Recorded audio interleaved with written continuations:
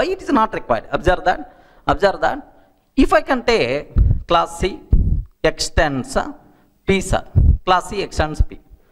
What the meaning of that? Sir, for the P, I'm creating child class. Whatever, whatever members are there in the P, I want, I want, sir.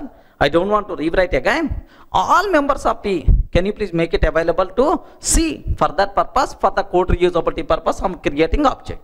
I am creating child class, right? Now observe, in this case observe, class A extends A.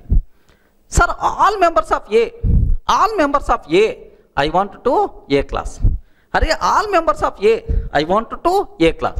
All members of A are already available in the A class. Why you are writing? Why you are writing like this? Immediately compile time error we are going to get. Are the members of A already available inside A. Why you are taking this one? Unnecessary, sir, extra code. That's why compiler won't accept.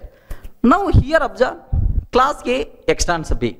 Sir, all members of B required to A. All members of B required to A. Next, class B extends A. All members of A required to the B. Are A required B members, B required A members. If A required B members, B required A member, why you are taking two classes? Better to take a single class. Are getting better to take one single class only because A required B, B required A. We are not required to take two classes. So all the members only single class is enough. Clear for all of you, right? So that's why cyclic inheritance is not really required. This type of inheritance is called cyclic, which is not really required. That's why Java won't provide support for cyclic inheritance. Not only Java, even Python also won't provide support for that.